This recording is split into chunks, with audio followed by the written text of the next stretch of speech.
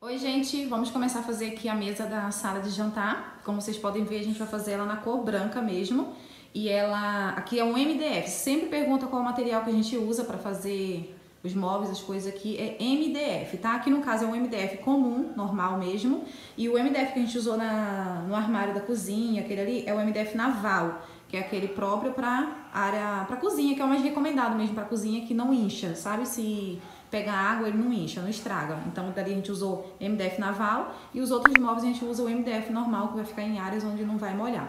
Então aqui no caso a gente está usando MDF de 15 milímetros e que no caso é um, metro, um centímetro e meio. E aqui o Robson já dividiu aqui no meio, tá vendo? Já tem uma marcação ali. A gente vai cortar ele no meio e vai ser colado uma peça na outra pra ficar a espessura grossa mesmo, já que a gente vai fazer a mesa. E a mesa vai ser redonda, tá, gente? Eu não quero mesa quadrada, nem retangular, ainda mais pro espaço aqui, acho que a redonda vai casar melhor. E a gente quer a mesa redonda mesmo. Aí, como dividiu ali no meio, aí o, o, o pedaço que sobrar daqui e dali vai ser colado, vai ser colocado, cortado o círculo e aí ele vai ficar exatamente num tamanho de 1,35m, 1,36m por aí. A gente colocou essa, esse pano, na verdade que é uma canga de praia, a gente colocou aqui pra gente simular mais ou menos o, a mesa, como que vai ficar aqui no espaço, só que a canga é bem maior do que vai ser a mesa, vocês podem ver que ela tomou bastante espaço aqui, ó. Então tem que contar com o espaço da mesa, e depois vai vir cadeira e ter o espaço pra gente circular na sala, né? E aí ela tem 1,60m e pouco, isso é 1,60m eu acho. É, 1,60m. Até nessa bordinha verde aqui, ó. Passando daqui ainda é maior. E aí a gente vai fazer a mesa menor que isso, porque a gente não vai fazer uma mesa para tomar o espaço todo, depois colocar a cadeira, não ficar muito apertada. Então eu acho que uma, uma mesa de 1,30m e pouco dá certinho aqui. A gente colocou só para simular, pra gente ter uma noção. E aí a gente vai fazer menor do que essa aqui.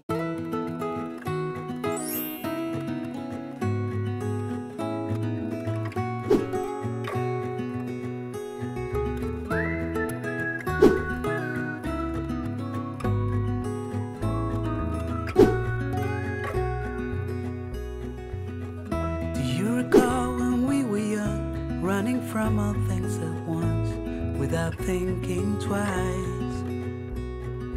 And I knew it would catch up and that we would be the ones left behind.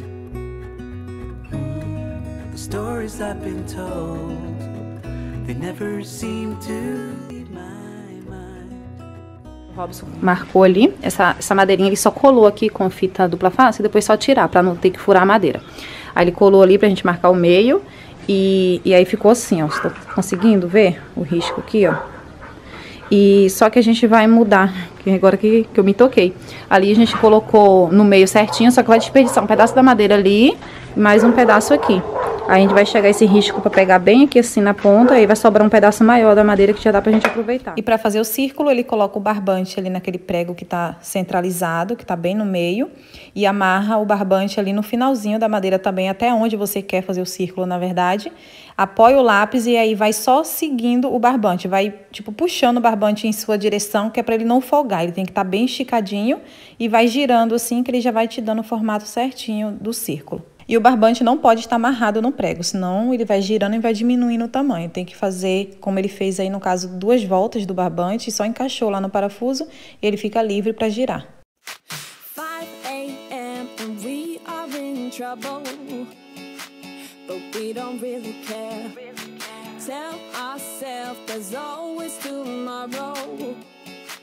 but it will still be there.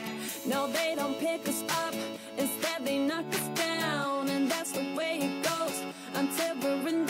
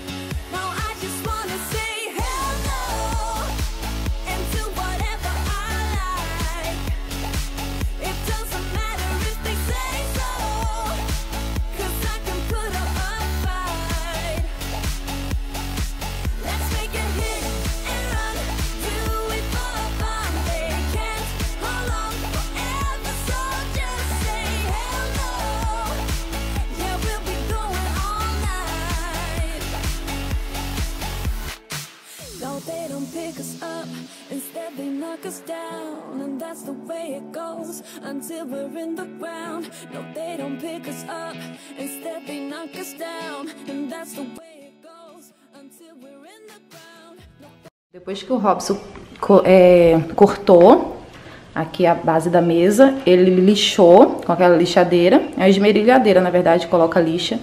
E aí ele lixou aqui tudo, ó, tá bem certinho. E como vocês viram, a gente só colou uma peça com a outra. E aí, pra ficar bem reforçado, a gente vai colocar uns parafusinhos aqui, que não vai atravessar, né? O parafuso vai pegar só aqui e um pouco dessa parte daqui. E aí o parafuso vai ficar pra parte de baixo da mesa, tá? O Robson vai reforçar aqui agora com os parafusos, vocês vão acompanhar aí.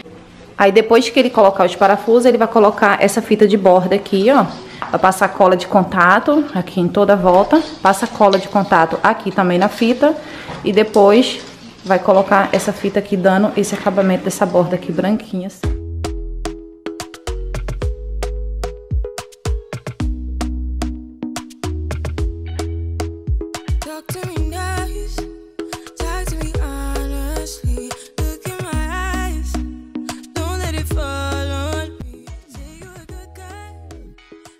Furo fica assim, ó. Ele vem com essa, essa tampinha aqui e coloca que é o tapa-furo. Esse, esse adesivo aqui, ó.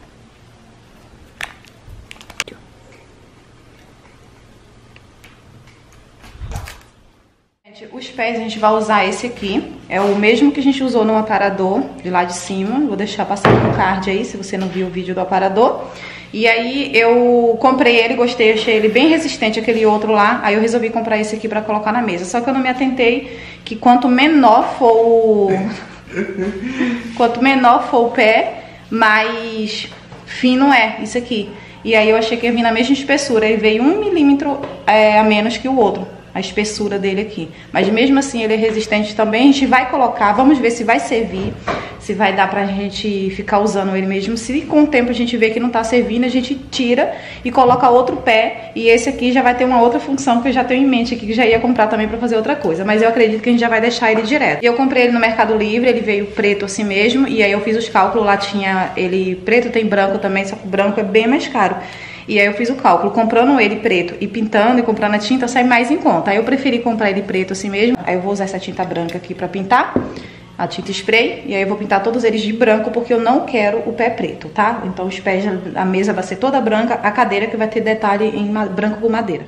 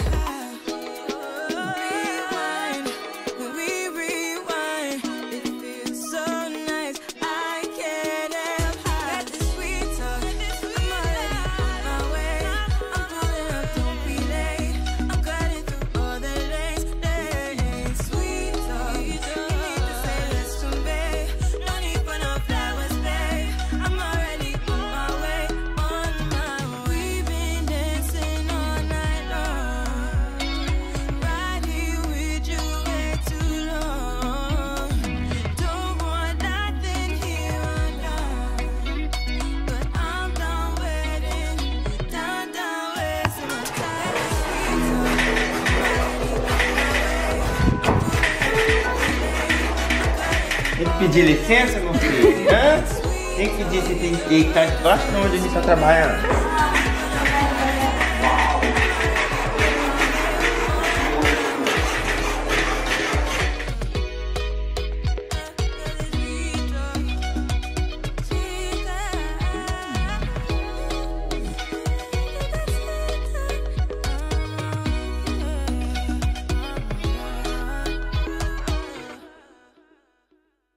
Na hora de colocar os pés, a gente deixou ali 18 centímetros da borda da, do tampo da mesa até a quina ali do, do pé. Só que quando a gente virou a mesa e colocou, encaixou a cadeira, eu não gostei, porque o pé acabou passando um pouquinho assim das cadeiras, passando para fora, ficou muito para fora, e aí eu quis colocar mais pro meio da mesa, mais centralizada. Ficou entre uma cadeira e outra. E aí a gente acabou chegando mais 10 centímetros para dentro, ou seja, ficou com 28 centímetros do pé até a borda ali da mesa e ficou ótimo, gente. Achei que não fosse ficar firme, ficou super firme. Eu amei o resultado.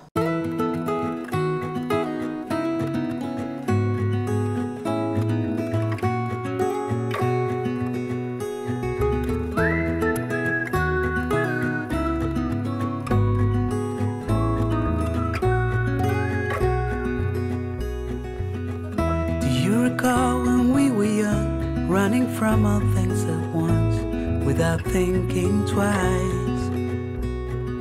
And I knew it would catch up and that we would be the ones. Esse aqui é o resultado da mesa. E olhando assim por vídeo, ela parece estar tá bem pequena, mas não ficou, gente. Ficou no espaço bem legal. Ficou exatamente assim como eu queria que ficasse aqui no espaço, ó. Aqui a passagem aqui ficou legal, aqui também. Dá pra chegar mais pra lá, tá? Só que eu cheguei um pouco mais pra cá, ela um pouco mais pra cá. Aí ficou essa passagem aqui entre ela e o sofá. Aqui também, ó, eu deixei mais espaçar, é, mais afastado, porque tem um pavor de passar assim, esbarrar na, na, escada, não bater cabeça, tá vendo? Ali tem um degrau da escada. Então deixei o máximo possível assim afastado para cá pra gente circular aqui tranquilo, sem bater cabeça. Olha, o espaço aqui ficou bem grande. Dá até pra gente chegar ela pra cá um pouco. E eu tenho três, quatro cadeiras dessa aqui e a gente escolheu um tamanho que desse para colocar umas cinco, talvez até seis cadeiras. Seis eu não colocaria não, que acho que ia ficar muito apertado, mas dá cinco cadeiras aqui tranquilo. Então a gente vai colocar mais uma depois. Os pés ficou bem firme, tá? Gostei bastante. E como eu falei pra vocês, a gente acabou trocando o pé de lugar, porque esse pé tava passando pra cá. Deixa eu juntar aqui a cadeira. Gente, vai ter uma diferença de áudio e de imagem aí, porque a câmera acabou de descarregar e eu tô continuando aqui com o celular, tá? E, e aí, gente, ó, o pé tinha ficado bem aqui, aquele que tá lá, né? Tinha ficado pra cá dos pés da cadeira, tinha ficado aqui assim. A gente chegou um pouquinho mais pra lá para ele ficar assim depois dos pés da cadeira.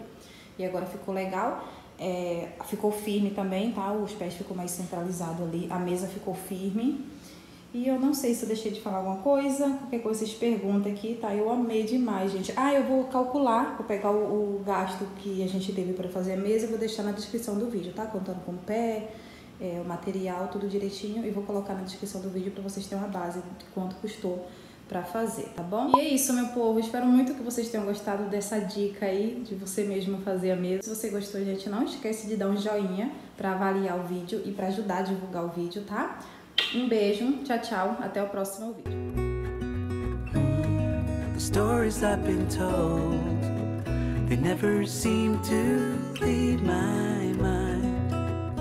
Ooh, and this road that I am on, I gotta stay here for some time.